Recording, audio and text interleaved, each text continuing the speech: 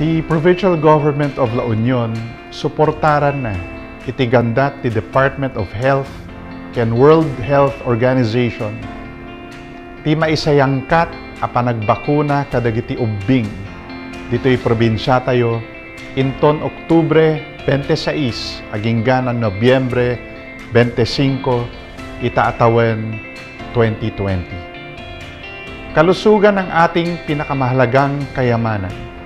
Ito ang ipinaalala sa atin ng ating patuloy na paglaban kontra COVID-19. Higit pa sa pinansyal o material na bagay, ang lakas at sigla ng ating pangangatawan, ang ating sandata upang mapagtagumpayan ang anumang hamon na darating sa ating buhay. Ipinakita din ng pandemya ng ating mga anak at kabataan ay lubhang apektado sa pandaigdigang krisis na pangkalusugan. Kaya namang marapat lamang na protektahan natin sila at pagtibayin ang kanilang resistensya sa pamamagitan ng bakuna.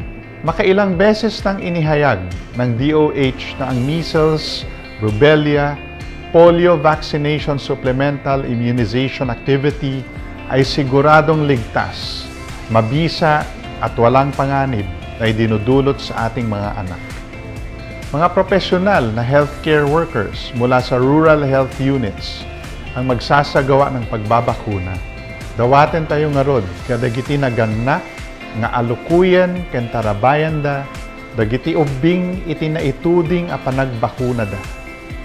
Agtitinulong tayo ang mangibangon iti napigpigsa a probinsya tayo, a stronger La Union, a province worth living in.